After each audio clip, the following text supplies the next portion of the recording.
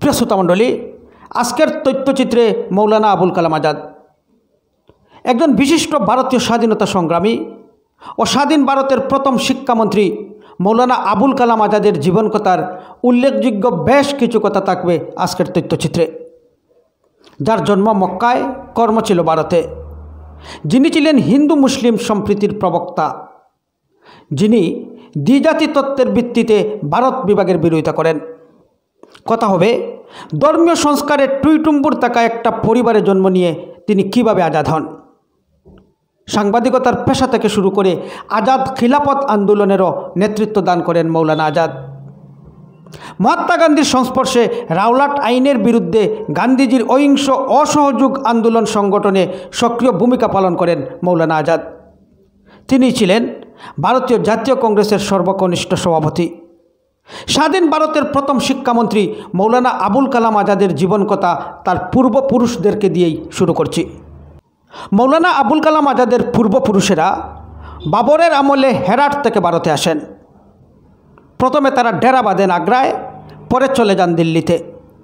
তাদের পরিবারের অনেকেই ছিলেন প্রসিদ্ধ পণ্ডিত ও প্রশাসক। আলেম উলামাদের এই পরিবারের মাওলানা জামাল উদ্দিন ছিলেন আকবরের সময়ের একজন নামজাদা ধর্মগুরু। শাহজাহানের আমলে এই বংশের মোহাম্মদ হাদিকে আগ্রার দুর্গাধিপতি করা হয়েছিল। তার পরবর্তীকালে এই পরিবার ইহজগতের ব্যাপারেই একটু বেশি ঝুঁকে পড়ে এবং পরিবারের অনেকেই উচ্চপদস্থ রাজকর্মচারী হন। মৌলানা আবুল কালাম আজাদের পিতার মাতামহ ছিলেন মাওলানা মুনাবরুদ্দিন যিনি ছিলেন মুঘল যুগের অন্যতম শেষ রুকুন অল মুদারেসিন। প্রথম শাহজাহানের সময়ে এই পদটির সৃষ্টি করা হয়। লেখাপড়া আর বিদ্যাচর্চার প্রসারে রাষ্ট্রীয় কাজকর্মের তদারকি করা ছিল এই পদের উদ্দেশ্য। মাওলানা আবুল কালাম আজাদের পিতা মাওলানা খায়রুদ্দিন আঠারোশো সাতান্ন সালের সিপাহী বিদ্রোহের পর মক্কায় চলে যান। তখন মক্কা উসমানিয়া সাম্রাজ্যের অধিকারে ছিল, যেটা বর্তমানে সৌদি আরবের অংশ। তার পিতা মাওলানা খায়রুদ্দিন মক্কায় চলে যাওয়ার পর সেখানে নিজের একটি বাসভবন তৈরি করেন। কিছুদিন পরেই মক্কার শেখ মোহাম্মদ জাহের বত্রির কন্যাকে তিনি বিয়ে করেন। শেখ মোহাম্মদ জাহের মদিনার বড় এক তত্ত্বজ্ঞ ছিলেন। মাওলানা আজাদের পিতা মাওলানা খায়রুদ্দিনের তখন আরব দেশের বাইরেও নাম ডাকছিল ইসলামিক দুনিয়ায় তিনি খ্যাতিমান ছিলেন। কারণ মক্কায়ও তার পিতা মাওলানা খায়রুদ্দিনের উল্লেখযোগ্য অনেক কাজ আছে। তার মধ্যে একটা কাজের কথা না বললে না হয়। একসময় মক্কাবাসীদের জলের প্রধান উৎস ছিল নহর জুবেদা খাল এটি তৈরি করেছিলেন হারুন আল রশিদের সহধর্মিনী বেগম জুবেদা। কালক্রমে খালটির দুরবস্থার জন্য শহরে বেজায় জলাভাব দেখা দেয়। এই জলের অভাব সবচেয়ে তীব্র হতো হজের সময়। হজযাত্রীদের অসম্ভব কষ্টের কথা মাথায় রেখে তার পিতা খয়রুদ্দিন এই খালটির সংস্কার করান। সংস্কার করতে গিয়ে ভারত, মিশর, সিরিয়া ও তুরস্ক থেকে সংস্কারের জন্য ২০ লক্ষ টাকা জোগাড় করেছিলেন আবুল কালাম আজাদের পিতা মাওলানা খায়রুদ্দিন। তখন খালটিকে এত ভালোভাবে সারানো হয় যে বেদুইনরা এরপর আর খালের গায়ে কোনো রকম আচর কাটাতে পারেনি। তখন তুরস্কের বাদশাহ সুলতান আব্দুল মজিদ তার পিতা মাওলানা খায়রুদ্দিনকে প্রথম শ্রেণির মজিদি পদক দিয়েছিলেন। জন্ম ও শিক্ষা জীবন। আঠারোশো অষ্টআশি সালের এগারো নভেম্বর মক্কায় মৌলানা আবুল কালাম আজাদের জন্ম হয়। এর দুই বছর পর, অর্থাৎ আঠারোশো নব্বই সালে তারা সপরিবারে কলকাতায় চলে আসেন। এখানেও একটা কারণ আছে, মক্কায় থাকাকালীন সময়ে মৌলানা আজাদের পিতা মৌলানা খয়রুদ্দিন সাহেবের একটা পায়ের নলি ভেঙে গিয়েছিল। তখন তার পিতাকে বলা হয়, কলকাতায় গিয়ে অস্ত্রোপচার করতে। তারা কলকাতায় অস্ত্রোপচারের জন্য এসেছিলেন অল্প দিনের মেয়াদে। কিন্তু এখানে আসার পর তার পিতা মাওলানা খায়রুদ্দিনের শিষ্য ও অনুরাগীরা তাদেরকে আর মক্কায় যেতে দেয়নি।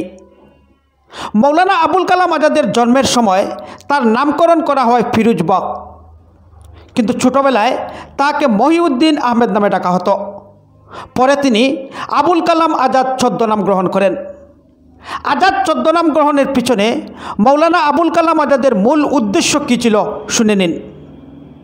মৌলানা আবুল কালাম আজাদের পিতা মাওলানা খয়রুদ্দিন সাহেব সাবেকি ধ্যান ধারণার মানুষ ছিলেন। পাশ্চাত্য শিক্ষায় তার পিতার কোনো বিশ্বাস ছিল না। তাই চিরাচরিত পদ্ধতিতে আবুল কালাম আজাদকে তালিম দেওয়ার ব্যবস্থা করেন।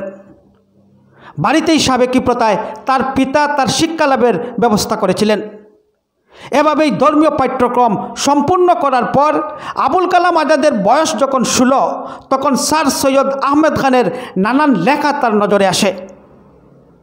আধুনিক শিক্ষা প্রসঙ্গে সৈয়দ আহমেদ খানের লেখাগুলো তার মনে গভীরভাবে চাপ ফেলে।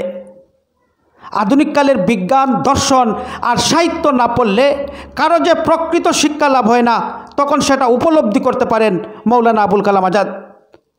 ঠিক করলেন, ইংরেজি তাকে শিখতেই হবে। সাথে সাথে ইতিহাস ও দর্শন অধ্যয়ন করবেন। ধর্মীয় সংস্কারের টুইটুম্বুর একটা পরিবারে তার জন্ম। রেওয়াজমাফিক জীবনের প্রথাগুলো যেখানে বিনা বাক্যবে মেনে চলতে হয়, পারিবারিক নির্দিষ্ট রাস্তা থেকে এক চুল সরলেও পরিবারের লোকেরা তা পছন্দ করত না। এমতাবস্থায় বিদ্রোহের এক নতুন বোধ মৌলানা আজাদের মন প্রাণ চেয়ে ফেলে। তিনি তখন আর পারিবারিক গণ্ডির ভিতর থাকতে চান না।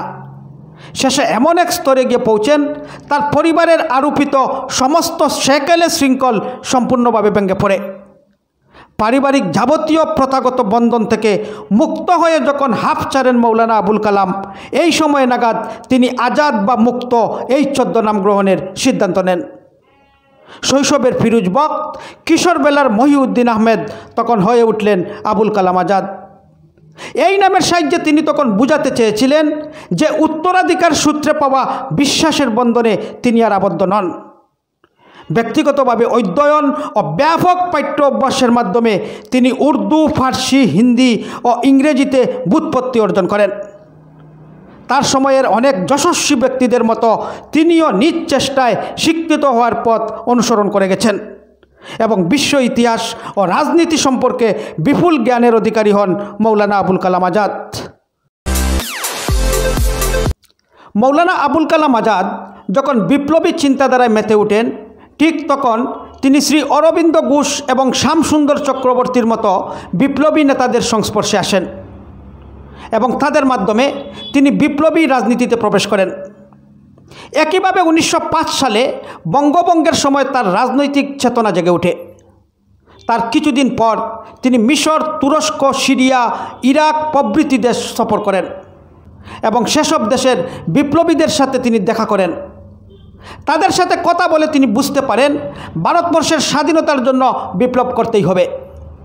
তাই দেশে ফেরার পর তিনি মানুষকে স্বাধীনতায় উদ্বুদ্ধ করার লক্ষ্যে উনিশশো বারো সালের জুলাই মাসে আল হিলাল নামে উর্দুতে একটি পত্রিকা প্রকাশ করেন। এই পত্রিকা ব্রিটিশদের সমালোচনা করে এবং মানুষের মাঝে বিপ্লব ছড়িয়ে দিয়ে ব্রিটিশ বিরোধী মনোভাব জাগিয়ে তোলে। ফলে অল্প দিনেই পত্রিকাটি ব্যাপক জনপ্রিয় হয়ে ওঠে। জনপ্রিয়তা দেখে ব্রিটিশ সরকার উনিশশো চোদ্দ সালে প্রেস আইন অনুসারে পত্রিকাটি নিষিদ্ধ করে দেয়। তিনি তখন আরও একটি উর্দু সাপ্তাহিক আল বালাক প্রকাশ করতে শুরু করলেন। তখন ব্রিটিশ সরকার উপায়ন্তর না দেখে আবুল কালাম আজাদকে কলকাতা থেকে বহিষ্কার করে দেয়। শুধু কলকাতা নয়, এই সময় মুম্বাই পাঞ্জাব, দিল্লি এবং উত্তরপ্রদেশ সরকারও তার প্রবেশ নিষিদ্ধ করে দিয়েছিল। ফলে তিনি বিহারে চলে যান, কিন্তু সেখানেও তাকে গৃহবন্দী করে রাখা হয়। উনিশশো বিশ সালের পয়লা জানুয়ারি অন্তরীণ থেকে মুক্তি পান এবং কলকাতায় আবার চলে আসেন মৌলানা আবুল কালাম আজাদ। কলকাতায় এসে খিলাপত আন্দোলনের সাথে যুক্ত হন তিনি। এই সময় তিনি মহাত্মা গান্ধীর সংস্পর্শে আসেন। তখন মৌলানা আজাদ গান্ধীজির অসহযোগ আন্দোলনকে পূর্ণভাবে সমর্থন করেছিলেন এবং যুগপথভাবে অসহযোগ এবং খিলাপত এই দুই আন্দোলনেই সক্রিয় ভূমিকা পালন করেছিলেন মৌলানা আবুল কালাম আজাদ। আন্দোলনের ফলে ব্রিটিশ সরকার সারা দেশে দরপাকড় শুরু করলে আবুল কালাম আজাদও অন্যান্য কংগ্রেস নেতার সাথে গ্রেপ্তার হয়ে দু বছর কারাবাস যাপন করেন। এই সময়ে তিনি শীর্ষ কংগ্রেস নেতাদের একজন হয়ে উঠেছিলেন। এবং উনিশশো তেইশ সালে মাত্র ৩৫ বছর বয়সে কংগ্রেসের সভাপতি নির্বাচিত হন মৌলানা আবুল কালাম আজাদ। তিনি ছিলেন কংগ্রেসের সর্বকনিষ্ঠ সর্বভারতীয় সভাপতি। উনিশশো একত্রিশ সালে মৌলানা আজাদ দারাসন সত্যাগ্রহ শুরু করেন। এই সময়ের তিনি দেশের অন্যতম প্রধান রাজনৈতিক নেতা। তিনি ভারতের ধর্মনিরপেক্ষতা ও সমাজতান্ত্রিক ধ্যান ধারণা এবং হিন্দু মুসলমান সম্প্রীতির কথা প্রচার করতে শুরু করলেন। ভারত ছাড়ো আন্দোলনের সময় উনিশশো চল্লিশ থেকে উনিশশো পঁয়তাল্লিশ সাল পর্যন্ত ভারতীয় জাতীয় কংগ্রেস দলের সভাপতির দায়িত্ব পালন করেন মৌলানা আজাদ। যে সকল ভারতীয় মুসলমান মুসলমানদের জন্য পৃথক পাকিস্তান রাষ্ট্রের দাবির বিরোধিতা করেছিলেন, তাদের মধ্যে সবচেয়ে উজ্জ্বল ব্যক্তিত্ব ছিলেন মৌলানা আবুল কালাম আজাদ। উনিশশো সাতচল্লিশ সালের পনেরোই আগস্ট ভারত স্বাধীনতা লাভের পরে ভারতীয় যে পাঁচজন নেতা উদ্যোগ গ্রহণ করেছিলেন, তার ভিতরে মৌলানা আজাদ ছিলেন অন্যতম একজন। অন্য চারজন ছিলেন মহাত্মা গান্ধী জওহরলাল নেহেরু, সর্দার বল্লভভাই প্যাটেল ও রাজেন্দ্র প্রসাদ। প্রধানমন্ত্রী জওহরলাল নেহরুর নেতৃত্বে গঠিত মন্ত্রিপরিষদে দেশের প্রথম শিক্ষামন্ত্রী হিসেবে যোগ দেন মৌলানা আবুল কালাম আজাদ। শিক্ষামন্ত্রী হিসেবে বিনামূল্যে প্রাথমিক শিক্ষা ও উচ্চশিক্ষার জন্য আধুনিক শিক্ষা প্রতিষ্ঠানগুলি চালু করেন তিনি। তিনি ইন্ডিয়ান ইনস্টিটিউট অফ টেকনোলজি ও বিশ্ববিদ্যালয় মঞ্জুরি কমিশন স্থাপন করেছিলেন।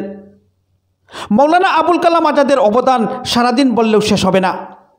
এই কনজন্মা পুরুষ উনিশশো আটান্ন খ্রিস্টাব্দের বাইশ ফেব্রুয়ারি মৃত্যুবরণ করেন। উনিশশো বিরানব্বই খ্রিস্টাব্দে তাকে ভারতের সর্বোচ্চ সম্মান ভারতরত্নে মরণোত্তর ভূষিত করা হয়। স্বাধীন ভারতের শিক্ষা বিস্তারে তার উজ্জ্বল ভূমিকার কথা স্মরণ রেখে তার জন্মদিনটি সারা দেশে জাতীয় শিক্ষা দিবস হিসেবে পালন করা হয়। প্রিয় দর্শক, আজ এ পর্যন্তই। মৌলানা আবুল কালাম আজাদ সম্পর্কিত আজকের তথ্যচিত্র ভালো লাগলে একটা শেয়ার করবেন। এ ধরনের ভিডিও পেতে আমাদের পেজটি ফলো করে রাখবেন। সবাই ভালো থাকুন ধন্যবাদ।